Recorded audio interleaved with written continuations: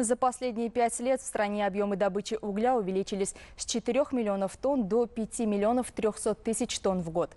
Глава государства поставил задачу эффективно использовать этот потенциал и последовательно наращивать объемы добычи. Так, в верхней части водохранилища Тупаланг в Сариасийском районе Сурхандаринской области началось освоение новой угольной шахты.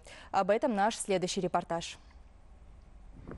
В настоящее время в нашей стране действуют 44 крупные угольные шахты. К ним относятся рудники Ангрен, Шаргун и Байсун. Увеличение спроса на топливо во всем мире дает импульс для поиска и разработки новых угольных шахт. В результате открываются новые месторождения, такие как угольный бассейн Тупалянг. Здесь обнаружено 11 миллионов тонн запасов угля.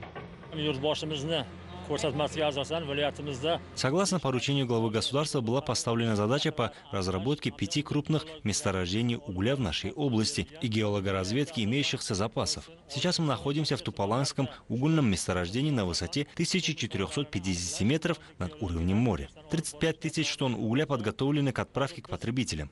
Работают более 10 единиц техники. Каждый день перевозится 800 тысяч тонн угля.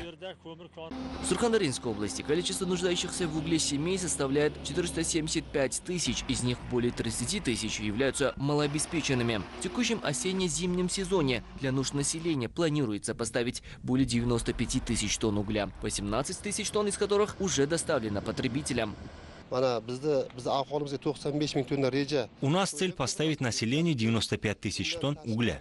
Есть малообеспеченные семьи.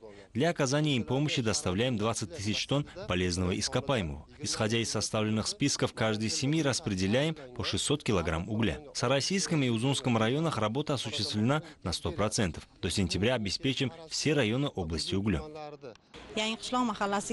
В Махалю Янги Кышлак привезли 40 тонн угля. Ведется работа по распределению его семьям, нуждающимся в социальной помощи, состоящих в железной и женской тетрадях. 46 хозяйствам уже поставили уголь.